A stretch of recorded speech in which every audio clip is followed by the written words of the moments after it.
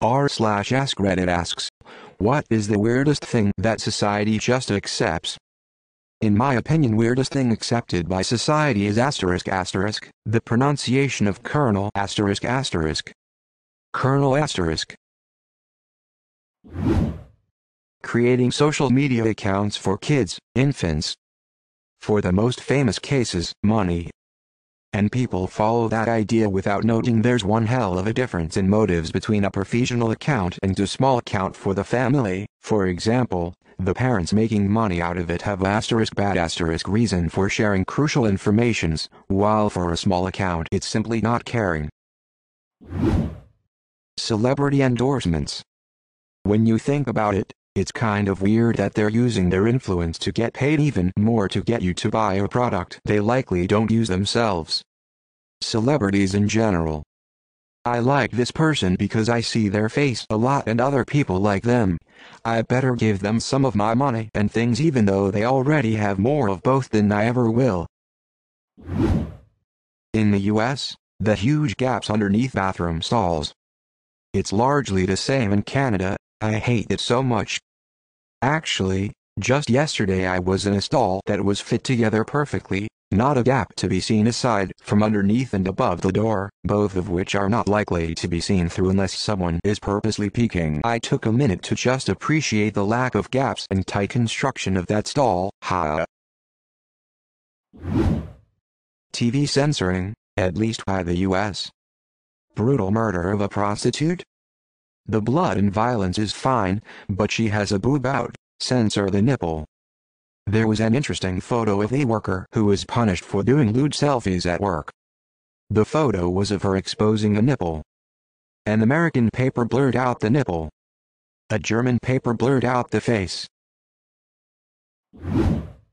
That the blatant lies almost all companies use to sell products isn't considered false advertising, at least no one ever gets in trouble for it in the States. This is one of my pet peeves. Lots of advertising is demonstrably false but they literally got the courts to agree they can't sell stuff without lying and we all go along with it. Child beauty pageants. I assume that's a weird subculture of women who want dolls instead of kids. Prostitution is super duper illegal, but not if you film it and share it with the rest of us. What about the countries where at 16 you can do it and record yourself but you aren't allowed to watch the video until 18? Stagnation of leadership. There's a tendency for societies to find a style of leadership and say, this is the perfect way to lead and cannot go wrong. Other people should all adopt this too and then wonder why corruption happens. Every societal structure succumbs to it eventually. I wonder about this with democracy. No system of government lasts forever so what comes next? In the future people might look at democracy like we look at monarchy and feudalism now.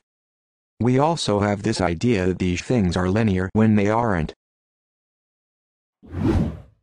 Working yourself to death. The whole concept of hard work is wrong. It ain't about hard work. It's about smart work. Work smarter, optimize your time, resources, skills, everything. Staying inside a cubicle for 8-10 hours just because you're working hard is not productive. It's weird how normal how people tend to see this.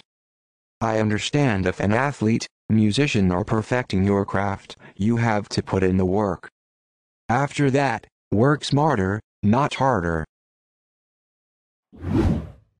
The insane amount of packaging on everything. With one phone charging cable I've got a box, two three pieces of molded plastic, two twist ties, and instructions. We know our garbage is an epidemic problem but we don't bat an eye at the crazy packaging. I agree. I bought a 2-pack of Duracell 2032 type button cell batteries and for some stupid reason each battery had an additional plastic packaging in addition to the regular plastic packaging. I basically had to do surgery with a hobby knife to unpack the batteries. In America, I'd say the lack of paid leave. In England you get 28 days paid holiday every year, more elsewhere. Americans get nothing and treat that as normal. It's weird. and those of us with jobs with a month of leave time are considered lucky, but also considered lazy.